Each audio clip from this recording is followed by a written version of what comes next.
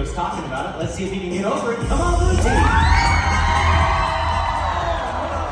And that's going to be a knockdown for Rufio. Does not just the top bar. The bar, the banner still stands. That's 40 inches. Still the highest jump of the show so far. But he can get a second try at 42. But first, we're going to see if Mr. Hollywood can take the lead. What do you think about that, red team?